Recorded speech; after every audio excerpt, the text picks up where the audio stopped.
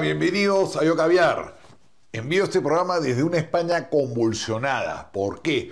Porque sorpresivamente el presidente de gobierno, ¿no? el presidente del Consejo acá de Gobierno, que es Pedro Sánchez, ha mandado una carta diciendo que el lunes decide o no si renuncia, anuncia o no el lunes si renuncia, porque se manifiesta muy molesto, muy indignado, muy irritado por las acusaciones que se ciernen sobre su mujer, Begoña Gómez.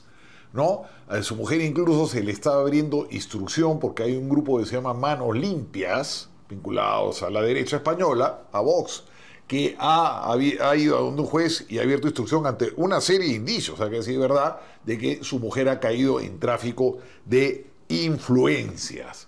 Hay pues toda una polémica de España. Miren ese cartel, por ejemplo, tan fuerte que están colgando acá como en el Sajón de Lima, en la Castellana, cuelgan, que es la principal arteria de Madrid, cuelgan carteles, ¿no? Eh, él pues va a anunciar si es que sale o no, hay toda una polémica, mucha gente dice que esto es un teatro, que simplemente está haciendo teatro, se está victimizando, se está haciendo el dolido, una carta larga donde culpa a la derecha, la ultraderecha, todos los malos que ha habido en el país, se hace el indignado, y dicen que es teatro, otros dicen que no, que realmente hay algo detrás, que está tocado, que esto no está en la naturaleza de Sánchez, que no es teatro para quedarse, sino que sí se va y algunos apuntan a que Israel estaría detrás de esto, pues está peleándose con Israel últimamente, dicen que lo han espiado con un, eh, con un sistema que se llama Pegasus, se habla de que Marruecos lo tenía extorsionado hacía tiempo, que por eso cambió y se volvió la política española después de 30 años de apoyar pues, el referéndum en el ex Sáhara español, que era una colonia española, dijo que, que ya le dio, le dio pábulo a la tesis marroquí de un día a otro, eso hizo sospechar que él está realmente controlado. Se habla también que los franceses tienen alguna información por ahí. Bueno, la mujer de Sánchez se reunió pues con la gente global y de Europa. Eso es un tema que le ha golpeado mucho porque eh, parece pues que ella Después de esa reunión gestionó, eso es lo que dice, gestionó una entrega pues, de una ayuda estatal grande a esta empresa que estaba por quebrar en Europa, ¿no? Y hay otros casos más por ahí. Ya siempre ha sido una mujer con cierta polémica. Su padre era dueño de saunas gay, le sacaron eso mucho en cara. Eh, le dieron una cátedra universitaria sin merecerlo, sin tener un doctorado ni nada por el estilo. Así están las cosas en España. Un país muy polarizado, mucha gente quiere que se largue. Sánchez, yo quiero que se largue. Este gobierno social comunista ha sido nefasto por esos años de, España. Hay otra gente que, que, tiene la camiseta puesta, o sea, 30% de los españoles votan socialista. Así se caiga pues el mundo, ¿no?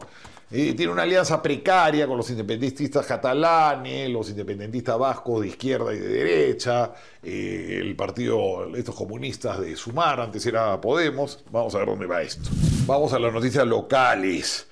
El Villanueva, el testigo Villanueva va este viernes donde el fiscal Chinchay a declarar. Le van a preguntar directamente por el caso de Gorriti. Vamos a ver qué pasa este viernes con el tema de Gorriti.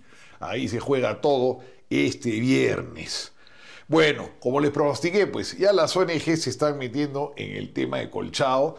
Human Rights eh, se ha metido en el tema. Human Rights Watch, HRW, ¿no? Es una ONG de derechos humanos que está en Washington. No hay un chileno ahí que no sé, todavía sigue ese piterno eh, jefe de esa ONG y se está metiendo el tema colchado. ¿Y quién pues ha llamado a este ONG? Ya se imaginan, pues, ¿quién es el amigo que mandaba en la fiscalía y que tiene toda esta llegada a las ONGs? Ah, ¿quién es el colega periodista? Ah, clarito, pues, ¿quién le ha, llamado a estas ONG le han dicho, defiende a Henry, que mis patas? Ya, pues, por favor. Bueno, a la fiscal Benavides le ha caído el, el, el le ha caído pues el, el guayco, ¿no?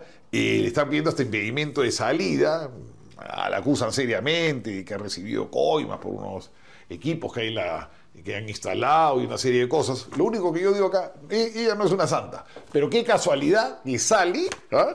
que sale este informe y la fiscalía actúa ¿ah? justo cuando se va a votar su caso el Jurado Nacional, la Junta Nacional de Justicia. ¿ah? Justo cuando la Junta Nacional de Justicia, que ahí, ahí están sus archienemigos, van a votar el caso de ella si la inhabilitan o no, cae la fiscalía y sale este informe. Ya pues, ya pues, ya. Todo es, grosero cómo la fiscalía manipula la justicia. Chavín de Guantar, ¿no? Chavín de Huántar, qué bien fueron al lugar de la memoria los soldados, los héroes de Chavín de Huántar y muchos otros oficiales y fueron ahí a imponer respeto. Poner respeto en ese sitio que, tan, que muchas veces le falta el respeto al ejército, ¿no? Eh, satanizándolo como que fuera igual a Sendero Luminoso. Con ese pobre hombre que es su director, ese Manuel Burga, eh, que es un profesor, catedrático, de, ha sido rector de San Marcos. No conozco yo a Burga. Eh, ese es Burga.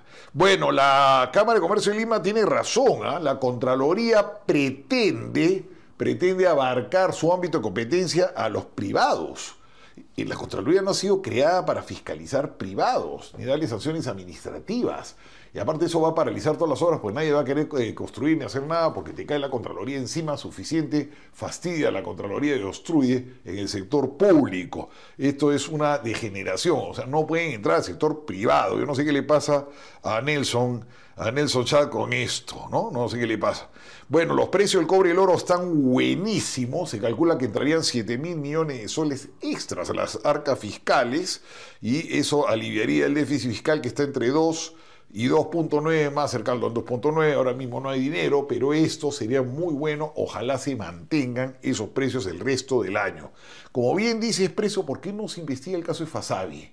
¿Se acuerdan este asistente de Nadine Heredia, Ollantumala, que apareció misteriosamente a, eh, muerto, muerto, sospecha de haber sido asesinado, todo un tema ahí, y se, eliminó rápido el cadáver. ¿Por qué no, no, se investiga ese tema? ¿no? Justo fue que la época de la aparición de los cuadernos de Nadine, ¿no? las famosas notas de Nadine, y se conjeturó que Fasabi era el que las había entregado.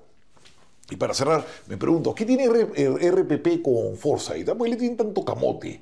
¿Ah? Forsyth no es un erudito, es un tipo pues que ha servido a todos los que ha podido, un sirviente de varios gobiernos, fue pues el último sirviente de Pedro Sánchez, ¿por qué diablos RPP lo levanta tanto?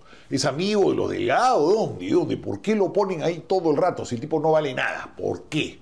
¿Ah? No lo entiendo. Lo dejo.